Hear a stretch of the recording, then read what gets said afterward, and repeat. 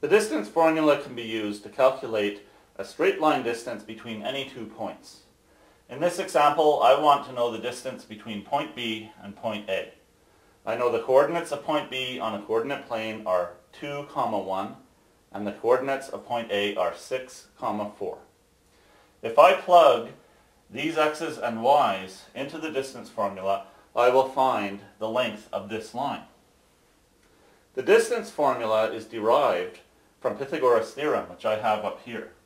Pythagoras' theorem, of course, is used to find the length of a side in a right triangle when you know the lengths of the other two sides.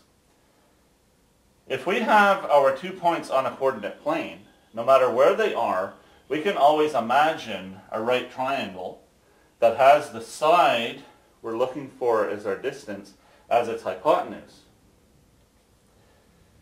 If this is point B, and I call this side lowercase b, this is point A, and I call this side lowercase a, I have illustrated a right triangle that can be plugged into this formula that has side AB as its hypotenuse.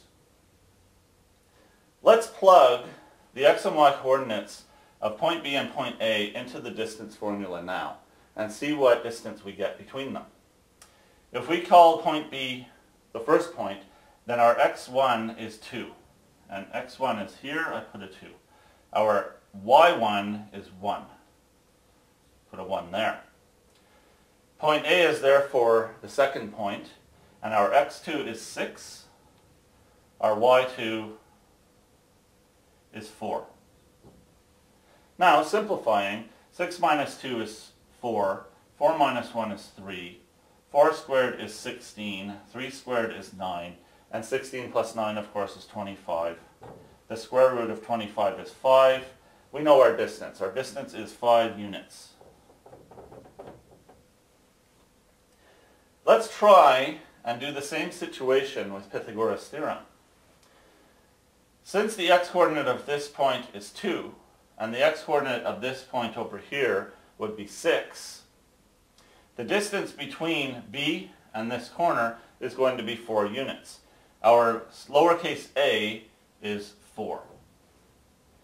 Since the y-coordinate of this corner point is 1, and the y-coordinate of point A is 4, the distance between this point and A will be 3 units.